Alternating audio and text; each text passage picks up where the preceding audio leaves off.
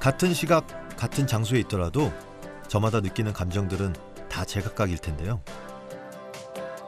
야 이태원 거리도 정말 참 오랜만에 와보는 것 같습니다. 아, 이 동네는요, 참 다채로운 그런 매력이 밀집되어 있는 그런 동네인 것 같아요. 어떤 다양한 사람과 문화, 그리고 취향, 그런 것들이 이렇게 공존해 있는 그런 공간인 것 같습니다. 아, 오늘의 제 감정은 살짝 설렘인 것 같은데요. 평소 평범해 보이는 길도 걷다 보면 그날의 감정에 따라 그때그때 마음을 사로잡히는 것이 달라지곤 하는데요. 그래서인지 오늘은 이 가게 앞에서 제 발길이 멈추었습니다.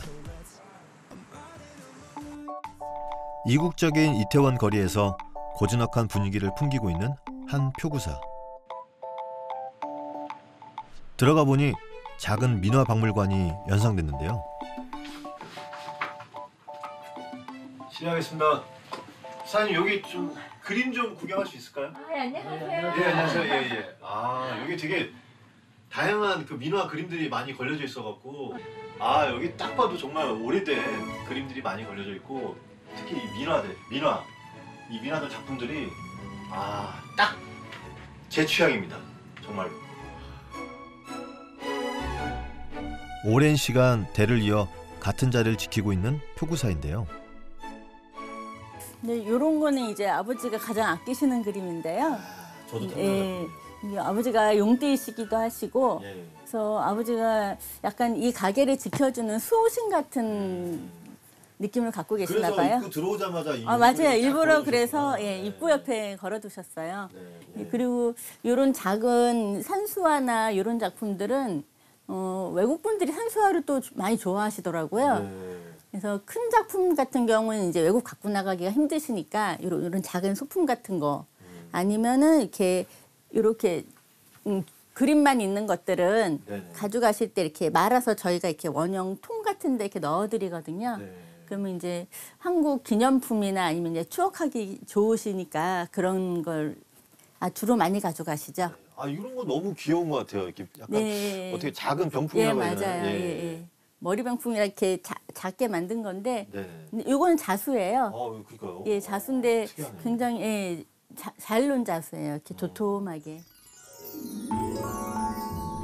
켜켜이 걸려 있는 그림과 족자들이 눈길을 사로잡았는데요. 50년 넘게 전통을 고수하며 미술 애호가들은 물론 외국인들에게도 인기인 표구사. 이곳을 운영 중인 두 분을 만나봤습니다.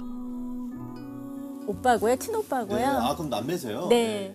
아버지 때부터 시작이 됐는데요. 아, 그렇죠. 예. 예. 아버지한테 물려받아서 음. 아버지가 이 표고사를 처음 여신 게 71년, 1971년도예요. 70년도요. 예, 그때 이제 한남동에 아버지가 처음 여셨고 네. 이제 아버지가 운영하시다가 오빠가 물려받게 됐죠. 네. 그 과거에는 장사가 아주 잘 됐다고 얘기를 하셨잖아요. 아버님이랑 같이 운영하실 때. 요즘 좀 많이 좀 어려운가요? 힘든가요? 어떤가요? 아, 그러니까는 예전에는 여기 미군부대도 있고 관광객들도 엄청 많았어요. 네. 근데 아, 그런 사람들이 전부 다 우리 가게에 오다 보니까는 거의 뭐 여기서부터 그러니까 요즘에 이렇게 waiting 한다 그러죠. 네. 막 대한민국 표구사 중에 waiting한 가게는 우리밖에 없을 거예요. 음. 미국 사 외국 사람들이 이거 뭐야 그림을 갖고 여기부터 저 밑에까지 쭉 줄 서 있었어요. 이야. 그러니까는 뭐 지나가는 사람들이 보고 여기 뭐 하는 땐가 보고 들어오기도 하고 네. 그 정도였으니까.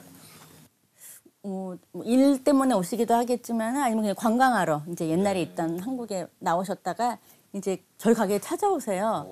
근데 저희 가게가 한 곳에서만 굉장히 오래 있었으니까 혹시나 하고 왔는데 있으면은 그 자리에 있으면 얼마나 반갑겠어요. 그렇죠. 어, 그래서 와가 들어와가지고 아직도 있었냐고 내가 언제 몇 년도에 여기서 근무했었다고 그런 얘기를 하세요. 근데 가끔은 아버지께서 기억하시는 분도 계세요.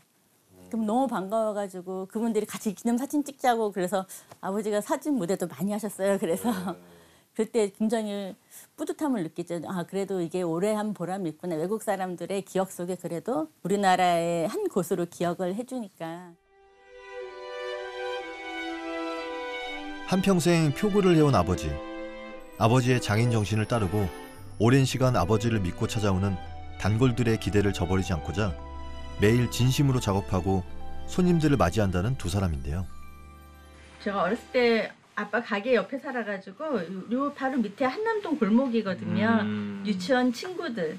네. 예, 그때만 해도 한남동에 그렇게 큰 집들도 많았었는데 이렇게 자그마한 집들도 있었고요. 네, 여기 어떤 분이 사는 제가 가운데 아 역시 가장 이쁘신 분들은 이렇게 센터를 항상 꼭 아, 찾으시더라고요. 예.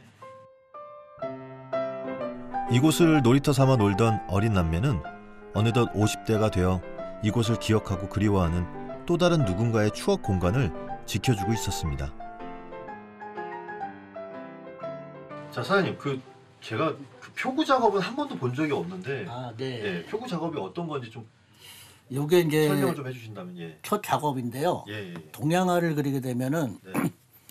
여기가 산수한데 요 목의 번짐을 위해서 이렇게 얇은 종이를 사용해요. 네.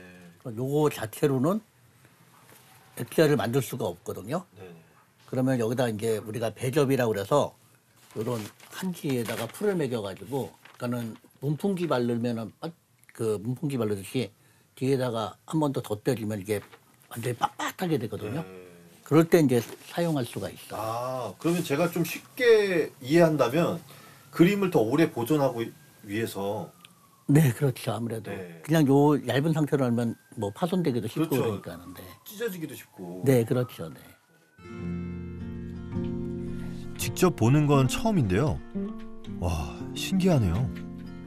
그러니까 표구 작업 과정이 야, 이런 과정을 거쳐서 멋진 민화로 탄생하는군요. 아, 네, 네.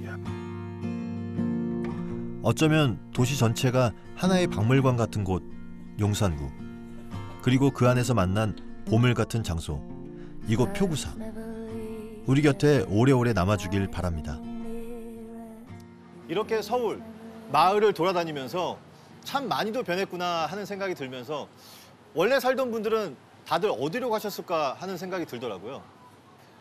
분명한 건 어디에 있든 마음 한켠에 추억 하나쯤은 간직하고 계실 텐데요.